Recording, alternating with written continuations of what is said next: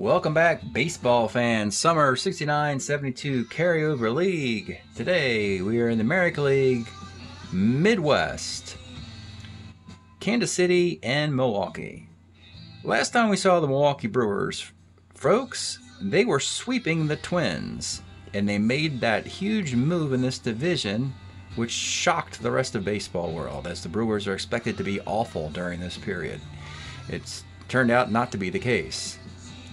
However, a new day has risen, and now their opponent, the Kansas City Royals, let's take a look at the standings in the America League Midwest. The Kansas City Royals are zero games behind the, yeah, because they're in first place. Kansas City has won the first three games against Milwaukee in the series. The 12 and 7 hot Brewers are now 12 and 10. Game and a half back everything just tightened up once again in this wild division. And when you look at Kansas City and the Twins, you see that the Twins are only a game behind the Royals. The Twins beat the Royals. But the reason they are behind, even just by a game, is because of the Brewers, the conduit between these two teams you net seven games in the standings because the Twins are negative four against Milwaukee and the Royals are positive three. So it's a net of seven game differential here. And all that did was get the Royals a game in front of the Twins. Brewers are right there still, even though they lost the first three games of this series. It's going to be tough for the White Sox, though. Even though they're just three games back, you have to pass three teams, which means, and everybody plays each other. So when the White Sox are winning, one of these other three teams is also winning, which means the White Sox are going to be stuck at that three for a bit. And they're not going to be able to catch this division title. The White Sox are, at this point, uh, perplexed and have to figure a way of getting out of last place. They could be the very well, the White Sox, with this nice record, just a game under 500, could find themselves being the best fourth place team in all of baseball worthy of the eighth overall pick in next year's draft, and yet better than a lot of third place teams in some other divisions. Well, look over here, for instance. Detroit, the Expos, and the Indians are just horrible. Or even over here in the National League, you've got uh, Arizona and Colorado. You get the idea, folks. So this has been the spunkiest division. Everybody has had a run where they look like the star Milwaukee's star turn just suddenly dramatically faded in three short games. The Twins were hot early, the Royals are hot now. And uh, let's get back to this uh, series. It is a game four in Milwaukee. Royals won all three. They were very close contests, but they won all three of them. Nothing stands out. I didn't want to bring them back up to review them. They were just five to three, two to one, and the last score was 5 to 3, I believe, as well. Pitching matchups are the key today. The Royals will send their first round pick, Roger Nelson, their ace, against Milwaukee's first round pick, Marty Pattin, who would ultimately play for Kansas City one day, as well as the Red Sox. So let's get started from Milwaukee. They need to save the series not save their season, but they'd like to save this series and win a couple games. Even if they can't come all the way back, you want to win a couple games so that you can net maybe a negative two or something instead of a negative four. Negative four is just, that's a big uh, move down in the standings. So here we go. Pat Kelly leads it off for the Royals. 45, Skies a center. Amos Otis, 210, single one to five, rolls a six. Paul Schaal, 2-2, bounces short.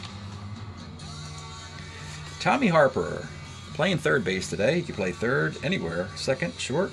Could even play in the outfield is his best position. But anyway, 310, flies a left. Mike Hegan, 45, center. Fregosi, 65, double one to 19. It's just a single. He missed it. Look at that. So it's a single. Don Mincher, 2-3, bounces the first. Top of two, John Mayberry, 310. This guy's all right. Bob Oliver, 2-4 short.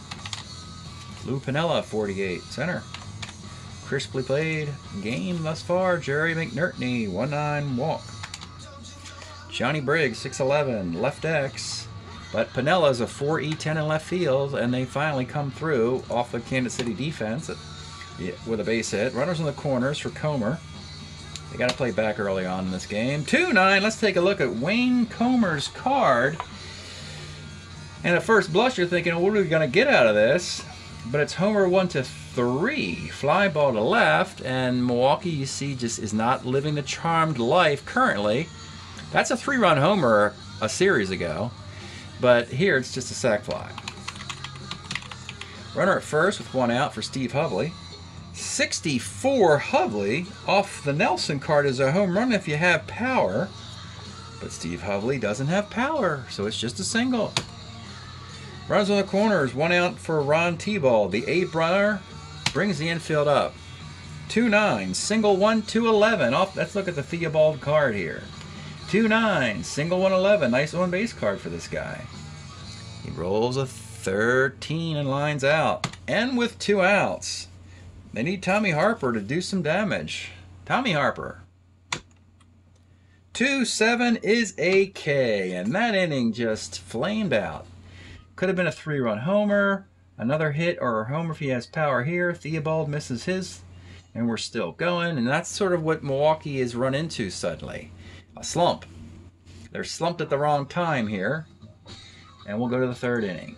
Ed Kirkpatrick, 312, Lomax. The Twins are probably watching this on TV going, what the heck? How come the Brewers didn't play this poorly against us? Freddie Patek, 53, right X. Steve Hovley's a 3E4 in right field, and he makes the catch. Cookie, Rojas, 48 center. Pattin's is perfect. Bottom of the third, Mike Hegan, 35, single. Fregosi, 210 is a single to left. Hegan, it's a 14 runner, but a hold. Going for the big inning. Need a clutch hit here, somebody. Don Mincher, 58. This guy's a right. Jerry McNertney, 64, and finally they come through here. Homer, 1 to 11, triple off of Roger Nelson. They'll take the triple. It's a two-run triple. That's pretty good. And they're knocking Roger Nelson around a little bit. 3 nothing. They're going to bring the infield up with one out so this doesn't get out of hand. John Briggs, 65. Again, Nelson, they're denting his co column. Homer 1 to 2 double. Brewers are finally putting it together here. Uh, Comer, 57's a K and Hovley. 2-9 with two outs. A two-out hit for Hovley. Let's check out his card. Steve Hovley. Uh, he actually was a Seattle pilot in 69. Has just about everything on this card except power. Like to have the power against righties. Does have a homer, 1 at 10 on 3-6 though. Decent range, few errors, nice arm, B stealer, nice on base percentage. Nice little package here. Base it in a right field. Briggs, a 14 runner, is going to run against Pat Kelly, and he scores. So now the Brewers have finally got it tuned in. Theobald, 2-4 short. They take a 5-0 lead, and Marty Pattin's now the story. He's perfect. Pat Kelly, 2-8. Bounce to short. Amos Otis, 2-3. Pops the second. Paul Schaal, 5-12. Bounces the first. Bottom of four. Tommy Harper, 39 is a walk. Ace Steeler with a big five run lead. Let's take a shot here. And he is going to be 15 plus two arm. Safe. Mike Hegan, 1-7K. Fregosi, 49, center. And Mincher with two outs. Bounces the second. They do not get another run. Top of the fifth, John Mayberry, 38. Bounces the second. Bob Oliver, 57 is a K. And Lou Piniella, 4-8, skies to center.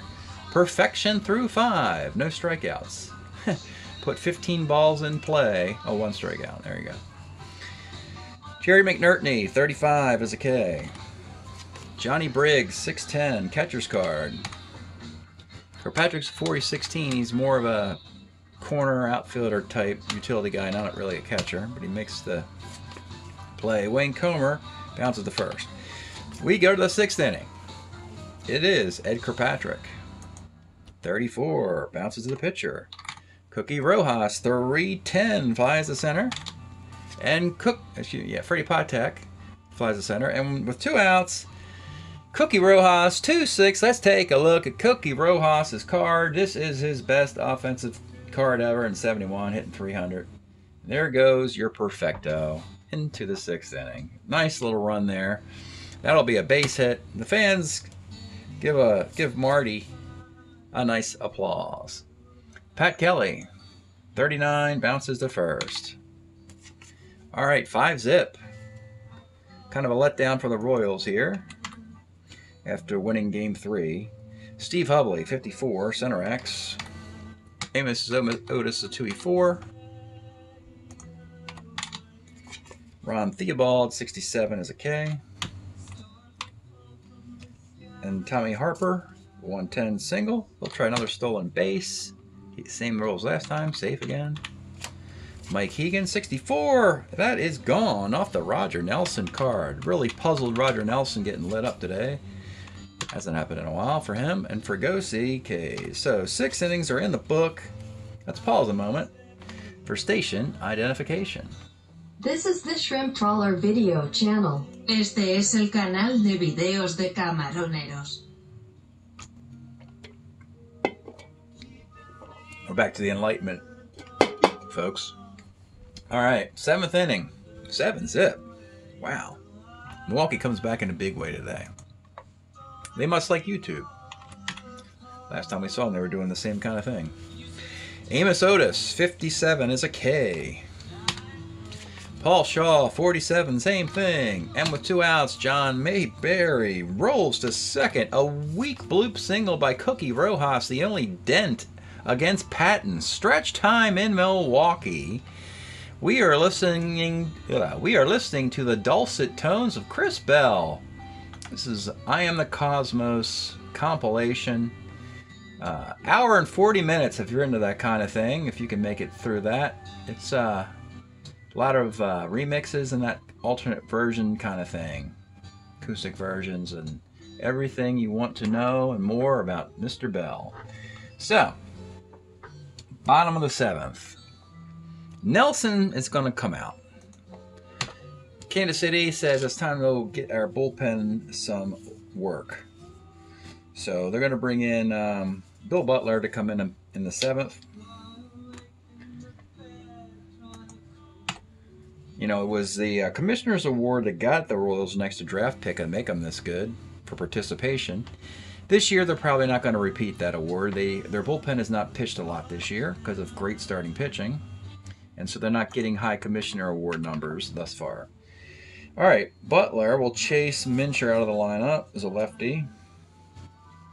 And we'll go with um, we'll go with Bobby Cox. Bobby Cox will come in and bat. Uh, he'll be the new third baseman, and Tommy Harper will temporarily be DH. Bobby Cox, 39, single one to seven, is a base hit. The Milwaukee Brave, Atlanta Brave, Milwaukee Brewer. You see the kind of a connection I made there. Um, Jerry McNertney. McNertney, 65, off of the Butler card. Hammer one to three, doubles a double. Second and third. All right, batting for Johnny Briggs, which would put Harper into left field, will be Jerry May, who will also be the catcher. Now McNertney becomes the DH. Jerry May, 69 is a strikeout. Wayne Comer, 312 is a Lomax. The dreaded Lomax, and that inning kind of just fizzled out. Pattin in the eighth. Big 7 nothing lead. Bob Oliver. 35, okay. Lou Piniella, 48. Skies to center field. Ed Kirkpatrick, 55. Short X. Fregosi is a 2. Wow. One of the best pitched games in Strat ever. The dreaded one hitter. Right there, folks. All right, bottom of the eighth. Butler leaves. Let Horatio Pena get an inning.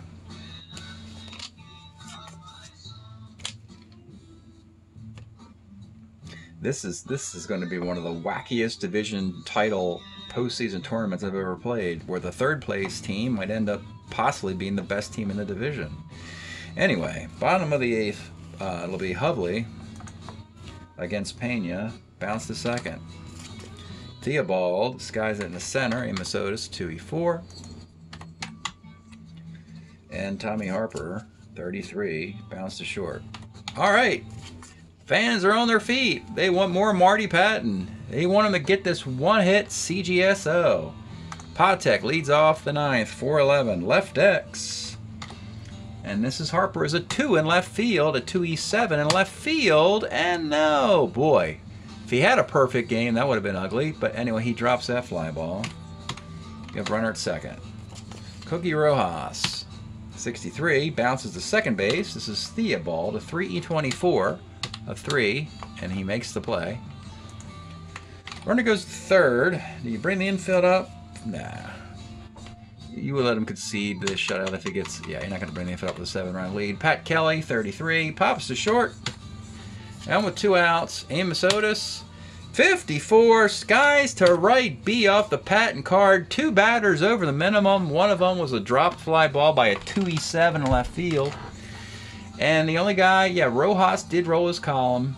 He's a 2-5 to 10 card. He rolled a 2-6, so clearly that's a solid single there. The only imperfection for Marty Pattin today, one of the top pitched games of the 2021 season. See, we'll see how Marty's doing year to date.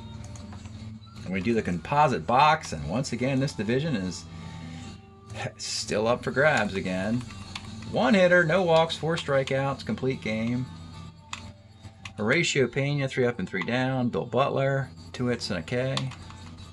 Tough loss for Roger Nelson, though. He did get knocked around pretty pretty handily. Ten hits in six innings, seven runs. Everything earned. Two walks and six strikeouts. So yeah, that kind of dampens Roger Nelson's Cy Young chances a little slightly. 1009, 0108, 71201. 0427 in a game four. A game the Brewers had to have. Otherwise, they're just a 500 team in their last two series. So they had to do something here. And they did it. They got to win. I'd like to get one, at least one more win in this series to uh, give them title hopes to the division title hopes can still be a reality. So with this win, Milwaukee is now 13 and 10. Still very, very good. Still overachieving for the Seattle Pilot team. This is kind of a Cinderella. Still 13-10, still very good. 258, it doesn't seem that's probably right where they are. Maybe they're a little underachieving there. The 303 ERA, though, that is overachievement. That pitching is not nearly that good. Marty's now three and four on the year, but he's actually pitched better than that, as you just witnessed. He's got a 287 ERA. So the pitching's done very well this year. The hitting has been kind of sl uh, sluggish. Kansas City, with that loss, they are still a, ga a half game ahead of the uh, Brewers. They are hitting 235, which is shockingly low. They're very fortunate to be 16 and 12. 344 team ERA. Roger Nelson's 3 and 3 in 54 innings. His ERA is 350, and he just gave up seven runs in six innings. So, just kind of ordinary kind of year for him. Mike Hedlund, the number two starter, is doing the best. But that 235 offense, that's going to get you dispatched. If you hit that way in the postseason tourney and the potential playoffs, you're going to get knocked out. So, four games in the books. I'll continue the series and report back what happens at the end of this video. We have played 413 games to this point. And the league is hitting 259 dipped under 260 for the first time in about a month. The league ERA is 385, another low point in at least a month. It was dipping, uh, it got up to like 396 for a moment, and now it's settled down to 385. Probably will finish the year below four. another quick peek at the standings again before I resume with a game five. Look at this division, folks. Interesting, intriguing set of scenario. You got Kansas City as the young up and comers. You got the twin, the old guard, veteran superstars. You know, on, at the end of their at the end of their runs with Killebrew, Carew, and Oliva, and well, not Carew, but Killebrew and uh, Oliva and so forth. And then this Milwaukee team is kind of playing spoiler here. They're not supposed to be this good. White Sox team right there, 14 and 15 in a precarious spot. That's it today from the Fun America League Midwest. Thanks for checking out the video. We'll see you next time. Well, folks, uh, we're all done here, and the Royals you know, talked about it and said that was silly. Why why we why we play so fat flat in a potential four game sweep? It turned out to be a gentleman's sweep. They came back in game five, led off the first inning. They got six runs in the first inning and held on to win the game eight to five, dispatching the Brewers. Four games to one, meaning that this wild division the Royals are in first, the Twins are game behind, and the Brewers are game and a half behind. A lot still to be determined. Thanks for checking it all out.